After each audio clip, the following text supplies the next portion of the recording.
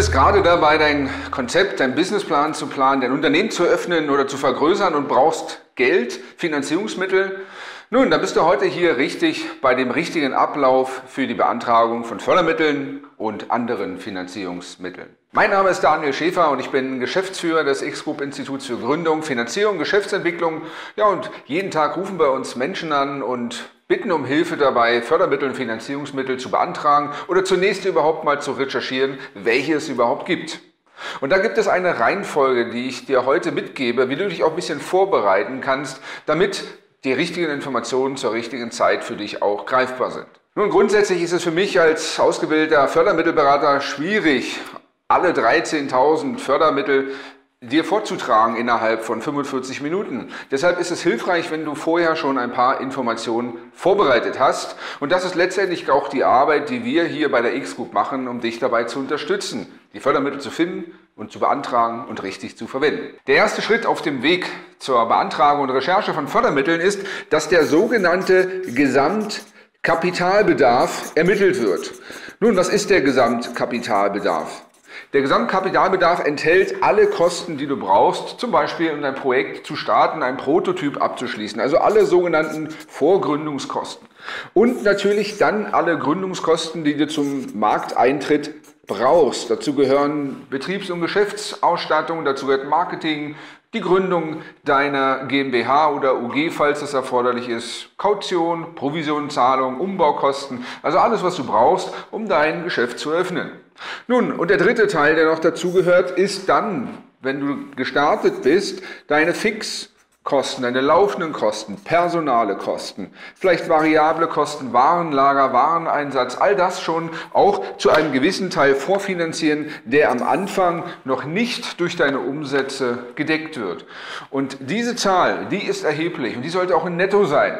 Denn die meisten Förderprogramme Banken finanzieren den Nettobetrag und ja, sicherlich gilt es dann die Vorsteuer, die für dich dann anfällt, auch noch mit zu finanzieren. Der zweite Punkt ist, dass du dir Gedanken machst, wie sich dieser Gesamtkapitalbedarf aus dem ersten Schritt zusammensetzt. Also wie ist die Quote von Investitionen zu zugehörigen Betriebsmitteln? Was ist nun der Unterschied zwischen Investitionen und Betriebsmitteln? Nun, Investitionen sind in der Regel Anschaffungen, die aktiviert werden. Das sind meistens Gegenstände, wo auch das Finanzamt von dir möchte, dass du über mehrere Jahre diese abschreibst.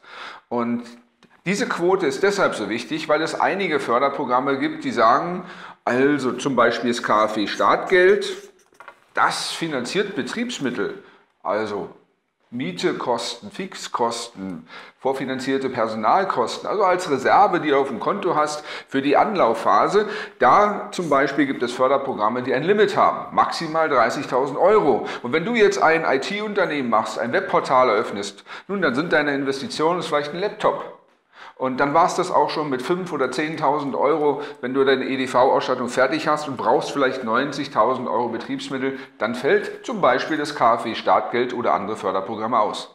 Die dritte relevante Information ist deine Postleitzahl von deinem Betriebssitz, wo er jetzt ist oder sein soll.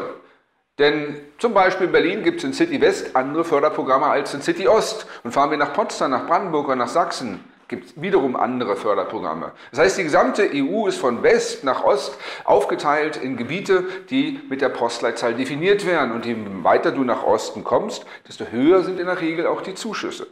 Deshalb wichtig ist also die Fragestellung, wo willst du dein Unternehmen gründen oder vielleicht auch danach aussuchen, wo es die höchsten Fördermittel gibt. Nun, der vierte wichtige Punkt ist die Frage nach den Eigenmitteln. Denn normalerweise ist es so, dass wenn du auf der Richtlinie der KfW nachschaust für KfW-Startgeld, da steht ein Eigenmittel-Eigenanteil ist nicht erforderlich. Aber wenn du zur Hausbank gehst, die zuvor aufgesucht werden muss, weil die Hausbank den Antrag dann bei der KfW stellt, dann will die Hausbank in der Regel schon einen Eigenanteil von 15 Prozent haben. Und je nach Branchenrisiko kann diese 15%-Quote auch nach oben gehen. Zum Beispiel in Berlin, Gastronomie, sagt die Deutsche Bank, die Volksbank, bis zu 50% Eigenanteil ist die Voraussetzung, dass die überhaupt seinen Kreditantrag anfassen, genehmigen und zur KfW weitergeben. Und daher ist es auch so wichtig, dass du vorher dich schon erkundigst, wie in der Region die Branche gegenwärtig bewertet wird. Da gibt es Branchenbriefe, zum Beispiel von der Volksbank. Es gibt Von Sparkassen und natürlich auch von IHK und Handwerkskammern gibt es in der Regel Brancheneinschätzungen. Und das ist für dich wichtig, dass du dann herausfindest, a, wird diese Branche überhaupt gefördert oder ist sie ausgeschlossen, für Zuschüsse zum Beispiel, auf einer sogenannten Negativliste, oder ist es so, dass es hier eine Eigenkapitalquote von 50 Prozent oder höher gibt, nun, dann gilt es erstmal, dieses Geld aufzubringen, anzusparen oder Investoren mit in das Boot hineinzunehmen. Nun, diese sechs Punkte sind relevant, damit wir eine belastbare Fördermittelrecherche und Finanzierungsstrategie aufbauen können. Und hier kommen wir auch ins Spiel. Das heißt, du kannst mit einem Gutschein ein kostenfreies Erstgespräch vereinbaren.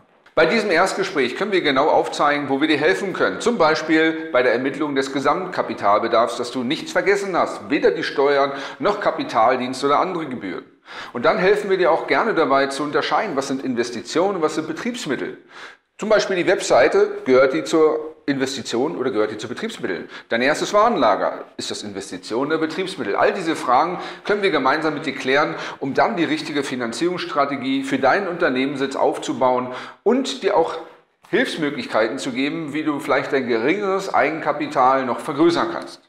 Ich lade dich also ein, jetzt gleich ein Erstgespräch zu vereinbaren über unsere Webseite. Gerne aber auch kannst du unseren Kanal abonnieren und weiterempfehlen. Ich wünsche dir Erfolg und freue mich, dein Vorhaben kennenzulernen. Dein Daniel Schäfer. Vielen Dank, dass du dieses Video zu Ende geschaut hast. Gerne darfst du diesen Kanal abonnieren oder auch weiterempfehlen. Möchtest du gerne ein Erstgespräch haben, um deine Fragen zur Gründung, Finanzierung oder beruflichen Entwicklung zu klären, so findest du hier auf dieser Seite einen Gutschein. Mit diesem kannst du ein kostenfreies Erstgespräch vereinbaren, 45 Minuten an der Dauer, entweder in Berlin, in meiner Beratungspraxis oder auch gerne am Telefon. Bis zum nächsten Mal.